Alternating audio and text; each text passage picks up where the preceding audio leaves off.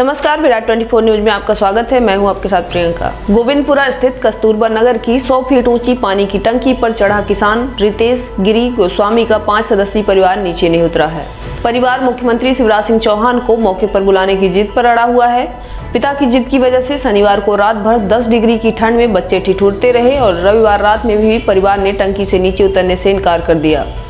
किसान व उसके परिवार ने पुलिस से गर्म कपड़े और खाना समेत किसी तरह की मदद लेने से भी इनकार कर दिया। भोपाल व रायसेन पुलिस के साथ ही प्रशासन के लोग भी रविवार को मौके पर मौजूद रहे। तमाम प्रशासनिक अमला, किसान परिवार को नीचे उतरने के लिए विनती करता रहा, लेकिन उन्होंने किसी की नहीं सुनी। टंकी के नीचे एसडीआरएफ की टीम और फायर ब्रिगेड ने तंबू लगा दिए हैं। मौके पर एक एंबुलेंस भी खड़ी कर दी गई है।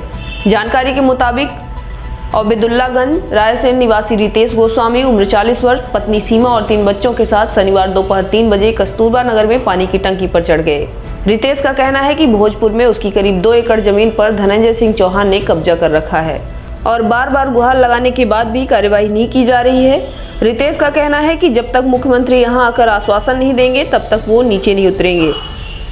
आपको बता दें कि 11 दिसंबर को रितेश अपने परिवार के साथ इसी पानी की टंकी पर चढ़ा था। वह 24 घंटे के बाद उतरा था। बाद में गोविंदपुरा पुलिस ने रितेश और उसकी पत्नी के खिलाफ बच्चों की जान जोखिम में डालने का केस दर्ज किया था। इस मामले में एडिशनल डीसीपी राजेश सिंह भदौरिया का कहना है कि रितेश का ज़मीन को लेकर पैतृक विवाद चल रहा है।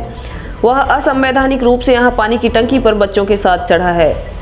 वह उनकी ज़िंदगी से भी खिलवाड़ कर रहा है। मामला रायसेन का है। भोपाल पुलिस का इससे कोई लेना देना नहीं है। रायसेन प्रशासन ने उसे हर संभव मदद का भरोसा दिया है, लेकिन वह किसी की बात नहीं सुन रहा है। वह भोपाल में तीसरी बार पानी की टंकी पर चढ़ा है। पुलिस ने नगर निगम, एसडीआरएफ को भी घटना की जानकारी दी थी। रविवार को दोनों विभाग के कर्मचारी मौजूद रहे। परिवार ऊपर से नीचे न कूदे, इसके लिए जाल बिछाने की योजना बनाई गई, लेकिन नगर निगम और एसडीआरएफ के पास जाल ही नहीं था। बाद में एक छोटे जाल को जोड़ा गया, जो टंकी के आधे हिस्से को ही कवर कर सका। गोविंदपुरा पुलिस और प्रशासन राजस्व विभाग के अफसर रितेश की मांगे मानने को तैयार है। इसके अलावा रायसेन पुलिस के साथ राजस्व विभाग के अधिकारी भी मौके पर आ गए, लेकिन वह किसी की भी बात सुनने को तैयार नहीं है। तमाम बड़ी खबरों के लिए देखते रहें विराट ट्वेंटी न्यूज़। धन्यवाद। खुल गया खुल गया खुल गया। आपके शहर में सर्व सुविधा युक्त स्काई रेस्टोरेंट खुल गया। वेज नॉन वेज भोजन का लुत्फ उठाने के लिए अवश्य पधारें। हमारे यहाँ स्काई स्पेशल थाली के साथ जन्मदिन, तिलक एंगेजमेंट रिसेप्शन के लिए हॉल उपलब्ध है। ऑनलाइन ऑर्डर के लिए संपर्क करें nine zero three nine zero double three double six one पर। पता याद रखें स्काई रेस्टोरेंट विश्वविद्यालय road lotus tower Khutehi Rewa.